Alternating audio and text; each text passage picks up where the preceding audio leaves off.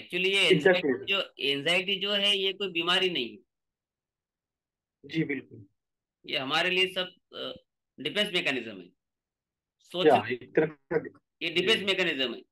Right sir लेकिन बार बार सोचने की वजह से हम उसको प्रैक्टिस में ला लेते हैं। हाँ। एक वो क्या आदत करना होता है कि हमें सबकॉन्शियस माइंड ने बताया कि ऐसा ऐसा है एक्सीडेंट हो सकता है या वो तूने फालतू लिया तो उसके ऊपर सोल्यूशन देके खत्म कर दो। ठीक है यार, लिया तो लिया मैंने, जा, देखा जाएगा।